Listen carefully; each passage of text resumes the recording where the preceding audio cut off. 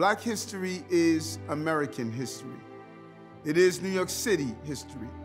This month, we come together to honor the triumphs and remember the tragedies that have defined the black experience in our country. We must have a real discussion about the injustices that we have faced.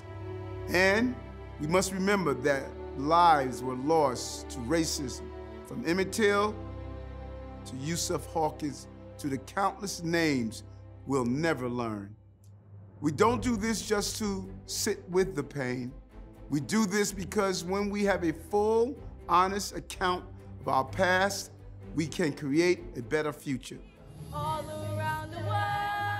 This month, let us celebrate, reflect, and commemorate Black history. Let us recommit to the work of building a city and country that will make our ancestors proud.